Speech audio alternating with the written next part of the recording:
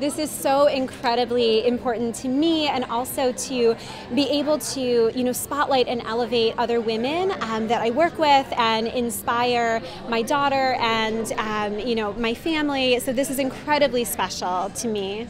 the visibility and um, you know recognition and just ability to network with such power women from around the globe is so incredible and was so important to be here tonight just to build those relationships and to be able to support each other.